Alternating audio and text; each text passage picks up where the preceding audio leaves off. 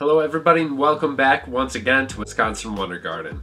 It's a beautiful sunny day out, nearly 60 degrees, on March 8th here in Wisconsin, and I figure I would take advantage of this gorgeous weather to do some spring cleaning here in the garden. In today's video, we're going to be cleaning up our raspberry bramble. Stay tuned and I'll show you how to prune your canes, get rid of some of the old canes, and make sure that you are encouraging the best and most healthy growth possible out of your berries. The first thing that we're going to be doing is taking out all of the spent canes that aren't going to be producing any more fruit. You can tell which canes aren't going to be producing any more fruit because it starts to peel like a tree bark around the outside of that cane. And then also they're very, very brittle and weak. So you can tell that that's a dead, used up cane that's not going to be producing anymore. You're just going to take those and chop them all the way down to the ground. So you can tell right here, this is exactly what it looks like. You can see that the outside of this cane is just peeling right off. That's gonna be a cane that we're cutting today. We're just gonna go right down as far as we can and chop those right off. There's about six more canes in here that I'm gonna cut off.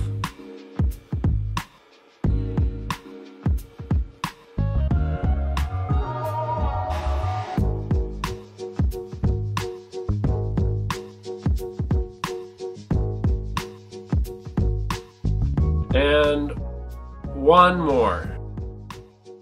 Okay, we've gotten all of our spent canes. Now something we can do is take a look at all of the canes that are growing outside of our bramble. You can see that there's a bunch of them over here growing out of where we want them to.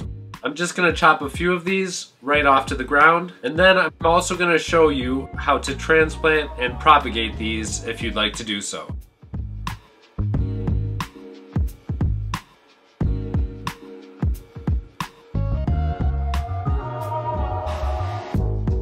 Stick around to the end of the video and I'll show you how to transplant the ones that we have left. The next thing we need to do in our bramble though is to get rid of any weak or diseased canes that we see in here. Looking right off the bat, there is only one of them that I would like to cut down, which is this one here. I'm just going to cut that right down to the ground. But besides that one, everything else looks pretty good. Our next step is going to be thinning these out. We want about four to six canes per square foot. So in this spot over here, they're a little bit more dense than they should be. And over here, they're less dense than they should be. So we're actually gonna transplant one of those into this spot later. But for now, I'm just gonna cut off Looks about like two of these right here to open up a little space. This is just gonna provide enough airflow and sunlight for our healthy plants to make sure they're not overcrowded.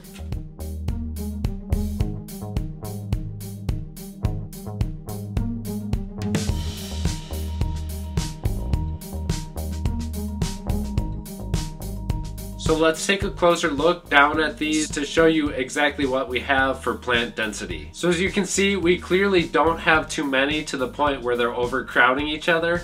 If in this spot you were to have like 10 whole canes in that one little area, then that would obviously be too much and they're gonna crowd each other out. They're not gonna have good fruit production and can also induce some disease on your plants, which we clearly want to avoid. Give you a nice shot from the side to show you what it looks like. And now we're on to our last step, which is pruning. Basically, I'll take about the first foot of all of these canes and chop them off. This is going to produce healthier fruit down at the strongest part of this cane. Uh, generally, if you pay attention, you're gonna have a lot weaker fruit sets on the top, a portion of your cane. So pruning these each year definitely helps out. This helps ensure that the energy is being put into the most important part of your plant that are gonna give you the most fruit. Alright guys, now on to transplanting and propagating your raspberry bushes if you'd like to do so. Early, early spring is the best time to do this. You can see we cleared around the cane a little bit that was growing outside of the desired area. All we're gonna do is dig a hole about six inches away from the center of this cane and about eight to 12 inches deep.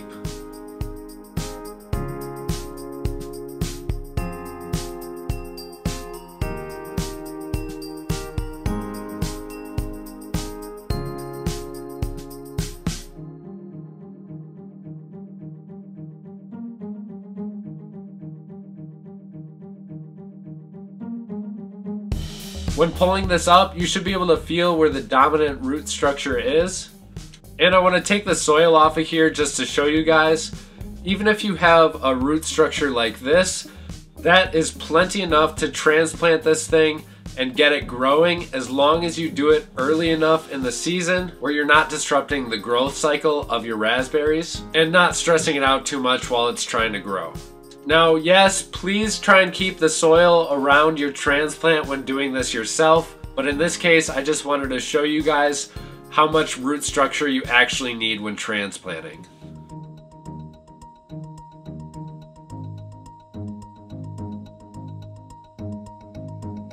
So we're gonna put this in the ground deep enough to completely cover any existing roots that were below the soil before, lightly tamping down the soil around the plant, and you're good to go. Thank you guys all so much for watching. Stay tuned for a fun-filled and awesome gardening season this year. Click this box up here to move on to the next episode. And as always, happy gardening.